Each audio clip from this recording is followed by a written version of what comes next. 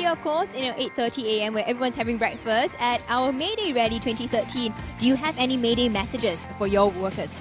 Oh, uh, better work, better contract, better pay.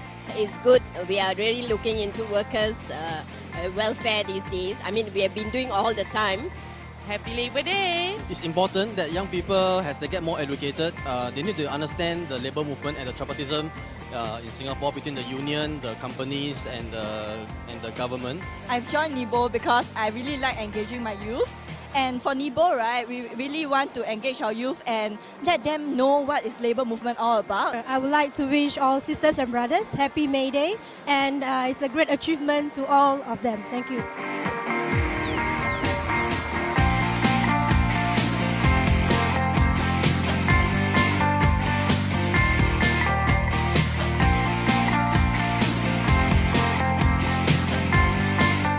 Cheaper than Silicon Valley, better than China, and faster than Korea is to make the job, make the life of the workers more ESS, easier, smarter, and safer.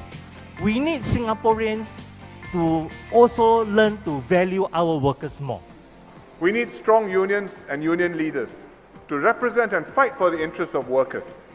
We have the progressive wage approach, which we are doing together with NTUC to raise salaries, especially of the low wage group. We are in better shape than others, and we are in a better position to improve Singaporeans' lives.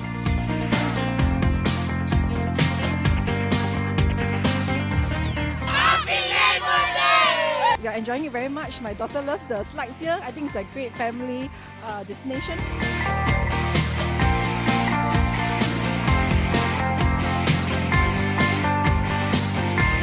I saw the PM chatting with you.